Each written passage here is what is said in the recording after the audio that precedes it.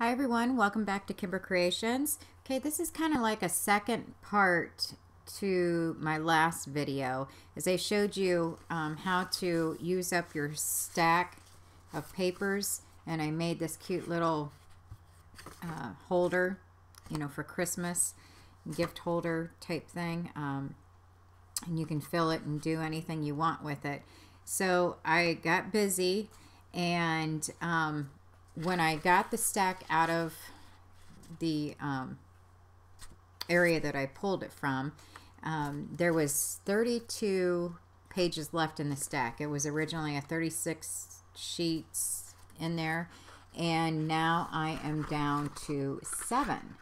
I did 24, well, 25 if you count my sample one, but um, I did 24 of them, and the reason I didn't use the whole stack only because these ones had um, more of a picture.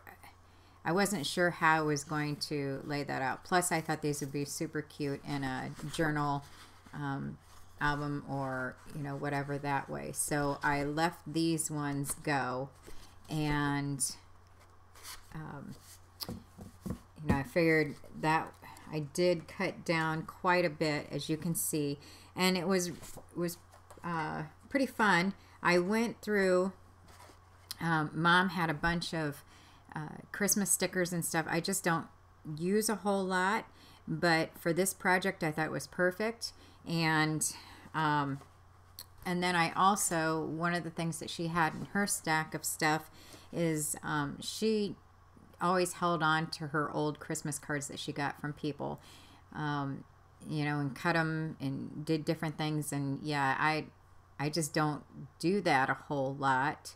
Um, used to when I was younger and first starting out in card making, but since I have all the stamps and dies and different things, I, you know, I just don't think to use um, those cards. You know, use cards to turn them into something else.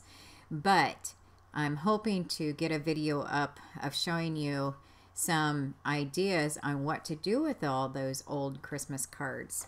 And um, so here's one idea is what I did is she had a bunch of, uh, she started cutting out a bunch of the words, you know, like from the inside, probably the outside too, um, on the cards. And I did have to then recut them down to fit what I was doing with them. But what I did is I took the stickers and just added, you know, whatever I could find. Like this one, you know, was some snowmen and a holly jolly. Have a, oh my gosh, have a jolly holiday. You know, so there's just a variety of different things in here. Um, I absolutely love these ones. She only had a few of these um, snowflake star things. But, um, so, and I was hoping to do all the blue ones with that, but I was running out. So then I just went through and she had some like dimensional stickers, you know, just something really cute to add on to there, you know, because, uh, you know, 90% of the time this stuff gets thrown out. So I didn't really want to put a whole lot into it, but I still wanted to look really cute, you know, as a as a gift or whatever, um, for either me handing them that or if somebody wants to purchase them, whatever from me. And um, I really thought this one was cute. This has got a little moose sticker on it.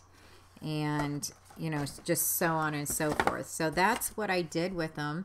Um, any of those that have tried this or going to try it would really like to see what you come up with on on your decorating you know part of it you know just something simple and you know not a lot of work and it uses up oh my gosh I thought I was going to use up a bunch of stickers and stuff but it doesn't even look like I touched her pile.